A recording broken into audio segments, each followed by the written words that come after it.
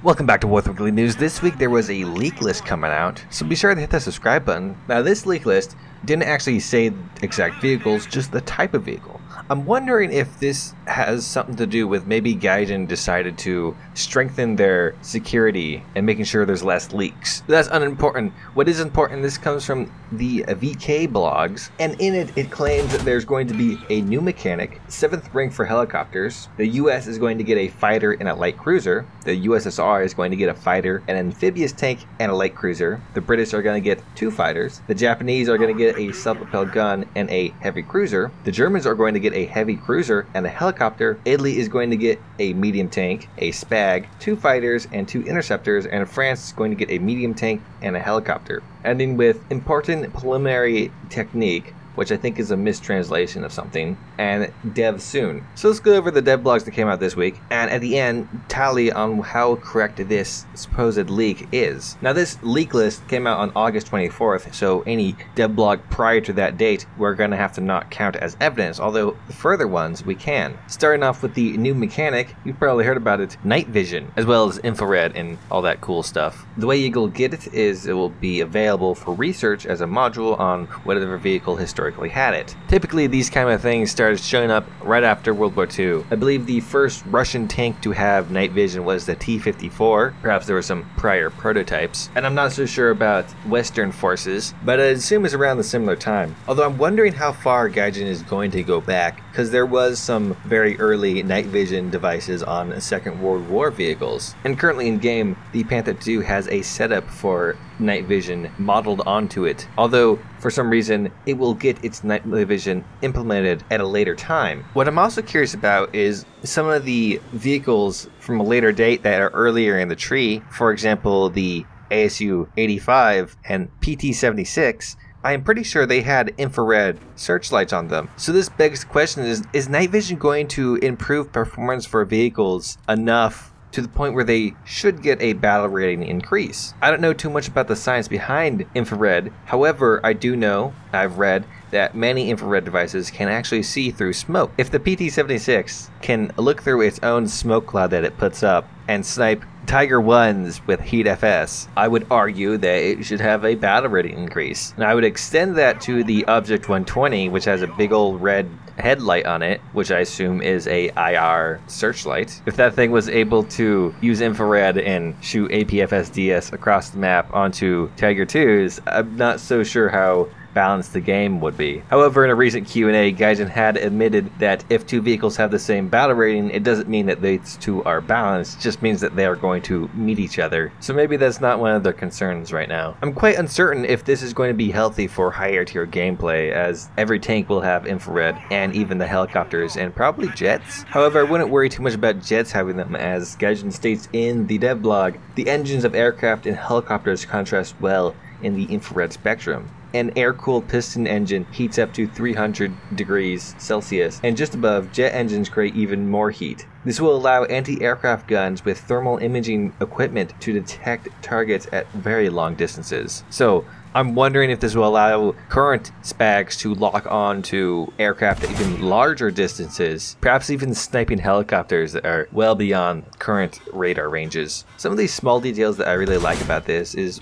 for one, you can now turn off your tank engine to hide yourself from IR, but also this quote right here, in the game, the night vision feature will be displayed only in the crew positions in which they were provided in real in real ground vehicles or helicopters. Night vision night sights for gunners, commanders, drivers, and so on. So say that Panther with the night vision got put in the game, or if you could research that on the current Panthers, to use the night vision you can only use it through the commander sight. Or the Panther 2, when it gets its night vision sights, you will only be able to use them through the commander or the driver sights, not the gunner sight which would be very interesting for trying to shoot. Now, I wonder if the thermals for boats will also be illuminated. How much effort did Gaijin put into this addition to the game? The next thing in the leak list that we can confirm is rank 7 helicopters. There was a dev blog for the Eurocopter Tiger. In fact, actually, three of them. One for France, one for Germany, and a premium one for France that has a nice camo to it. The only reason why I could think of these being rank 7 helicopters is that their ordnance is extremely modern. The German one, the Tiger UHT, will have 70mm rockets, pretty standard. MG pods, alright. Hot 3 ATGMs, well, we. alright. Stingers and PARS 3LR missiles, which come from 2011 and are self-guided anti-tank missiles. It states on their Wikipedia page that the PARS-3LR will be able to fire in salvos up to 4 in 8 seconds. No, I believe I read somewhere by one of the forum staff that this will not be modeled in game, which is a bit of a disappointment and a relief to me. And unfortunately, I lost the quote. But even without that functionality, it's still gonna shake up Ground Forces a whole lot, being described in Wikipedia as a fire and forget missile. As for the French ones, they both have a 30mm turret, rockets of undisclosed type, ATGM Hot 3s, and Mistral missiles. However, the rank 7 non-premium variant has Hellfires, while the Tiger HAP, which is premium, does not. Other words on rank 7 helicopters is that the British will not be getting one for some reason. They're getting a new tree, so you'd expect them to get the new tier of helicopter, but Alright, it's your choice, Gaijin. Next on the list of dev blogs was one for the Object 685. This is like the Object 906, but better. Has some pretty good speeds of 70 kilometers an hour, forward, 21 backward, and 10 in the water. No armor, as you would expect with an amphibious tank. And is armed with a 100mm 2A48 cannon that also has an auto-loading system in it. It can fire the same types of rounds as the Object 906, at least that's what the dev blog implies, but it can also fire APFSDS, or subcaliber, as they say. Pretty neat, it'll do the same thing as the Object 906 does, but at a higher battle rating. Probably be a pretty good backup for when your main medium tank dies, although there's always like a million medium tanks for you to put into a lineup at high tier Russia. The most important detail about this tank is actually the chassis, which found its way into the BMP 3 design. What I'm picking up from this is that we have almost guaranteed in the future, near future, that we will get the BMP3. Then we got a dev blog for the USS Atlanta, a US light cruiser armed with 16 5-inch guns. Since you can only really use 14 of them at a time, it'll probably come before the USS Brooklyn, which has 1552 millimeter guns. While the light cruiser line in the US tree is rather slim, I don't think exactly needed a new light cruiser, as the current top one can easily outmatch just about any of the other ones. And I'm pretty sure this is really being added to slow down progression to the USS Brooklyn. We've seen them do that strategy in the past, so it wouldn't be surprising them to do it now. Then there was a dev blog for the Supermarine Swift. Actually, two Supermarine Swifts, the F1 and the F7. Really, I'm just going to spend this time to uh, gloat that I called it. And it seems Gaijin is really uh, pampering that British ego as apparently the plane has no cons. And the final dev blog to come out as of this recording is the Reggiane RE 2005, which did not actually come out in 2005. It's a Second World War prop plane. Yes, I know, they actually still exist. Gaijin makes them still. I'm very curious to see how this thing will perform in the field. However, I'm far too tired and bored to read the devlog. I hate reading. A final devlog that you probably also have already heard of but I wasn't really able to fit into a category. Perhaps I should have gone after or before night vision. Is the map rotation filter. But here's the reason why it's the last because it's the best thing of the patch. How it works really simple. You get the option to mark disliked on three maps that you dislike, which is perfect if you say want to take out the T95 and definitely don't want Kursk or Sands of Sicily. But it gets even better if you're premium. You have the choice to ban a single map making it so there's a guarantee you'll never show up there. The greatest part is that you could abuse this by getting a squad with four other premium friends and banning four separate maps that you all equally hate, and then each individually disliking three maps, making a lead to four banned ones and 12 disliked ones. I'm just happy I'll never have to play on Saipan again. I do have a unfortunate feeling that this may lead to people only playing on a few certain maps over and over again, which could be a good thing if it's a good map. However, in Battlefield 3, people only ever wanted to play on Metro for some stupid reason,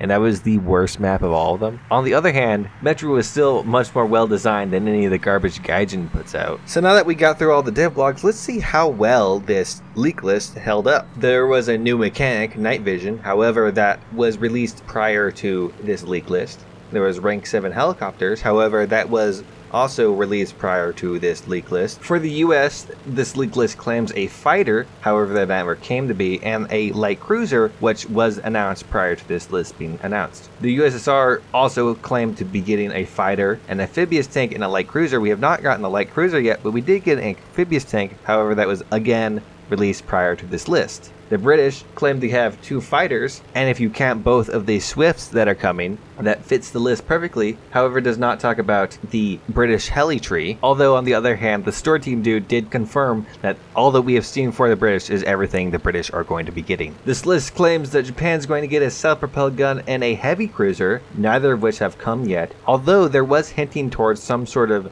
Japanese naval vessel, or at least something Japanese, in the USS Atlanta dev blog. For Germany, this list claims a heavy cruiser and a helicopter. If you account the rank 7 helicopter, then they got it. However, that was announced prior to this, although it does not speak of the German helicopter premium that you'll be able to buy with Golden Eagles that the store team dude had brought up on the forums. And if Germany's going to be getting a heavy cruiser, the one with the smallest guns is the Admiral Hipper class with 20.3 centimeter cannons. So I guess maybe that's going to shake a few things up in naval. Anyways, for Italy, they're claiming to get a medium tank, which we have not seen, a Spag, which we have not seen. We saw one fighter, however, it also claims a second fighter and two interceptors, neither of which we've seen. And for France, it is claimed to get a medium tank and a helicopter. But as I've said earlier, the helicopters were announced prior. And whatever important preliminary technique is, maybe that's the map rotation filter. But so far, this leak list has failed to name M48A2C, the Ostwind 2, the British helis, the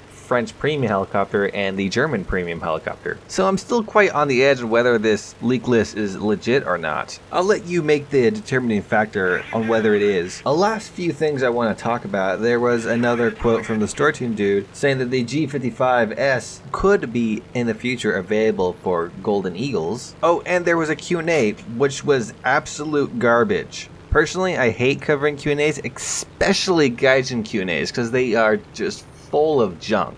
For example, the first question was just restating their dev blog about getting rid of the mouse and the other three fake vehicles. Not the mouse is fake. And then there's just full of questions with extremely vague answers and puff questions that aren't even questions. And sometimes Gaijin answers the questions in the wrong way. I hope you can hear my chair squeak. Ah, and here's the quote. I think I referenced this at the beginning of the video, but we would like to remind you once again, BR isn't a characteristic by which you can compare the effectiveness of the vehicle, because ground vehicles and aircraft, what about helicopters and boats, with the same battle rating aren't necessarily equal to each other, but it simply means that they can meet each other in the same battles and will have a chance to win. Great. Just great, Gaijin fantastic answer. You get a good old star. Go tell your mom. She'll definitely go put that up on the fridge. I didn't even tell you the actual question to that. It doesn't matter. This Q&A was dumb. Uh, maybe down further in the line it says that they're going to add the Pope Mobile to 6.7. It's going to have a 5 second reload or something like that.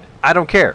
I, am not reading it. I'm done with, with the Q&A. It's trash. Your Q&As are trash, Gaijin. I'm done with them. Done. I'll do future ones. Just not this one. Not this one. Go watch the Canadian guy. I think I'm done with this video. I think I covered all the points that I plan to cover. Uh, there might be some other things. If there are and you think they're important, you can hit me up down below in the comments or on my Discord. I do kind of want to make some more smaller videos to cover lesser subjects that can't really fit into this one. Hopefully doing things like that won't lead me to being stressed out for two days. So be sure to hit that bell icon to get notifications or anytime I upload anything. If you want to support the channel and help me not be stressed out, you can hit that join button, and for $5 a month, you get early uploads, some live stream icons. So far, I have at least one member, and he's a pretty cool dude, the Royal Rat. Thank you very much. Besides that, uh, live streams are happening Saturday. Uh, if there's a dev server this Friday, I'll definitely be doing that. Otherwise, I'll probably just live stream XCOM. I've been trying to do that on Twitch more often now. And it's 4 in the morning. This video is beyond late, so I'm gonna go head to bed.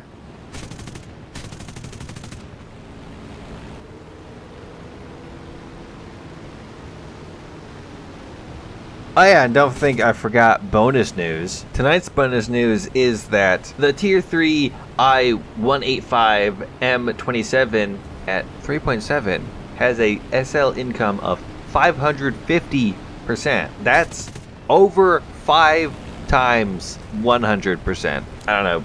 PG Noob told me to tell you guys that. I don't even know if that's impressive. I don't pay attention to those things. Typically, if I want to farm SL, I do it in arcade and just ground pound with the P47s. You get a lot of SL doing that, and it's easy because the games happen over and over again. And when you don't get a ground pounding match, you you're at a P47. You get was it like 12, 13? I don't know. I don't know how to count anymore. I'm. It's four in the morning. I'm going to bed.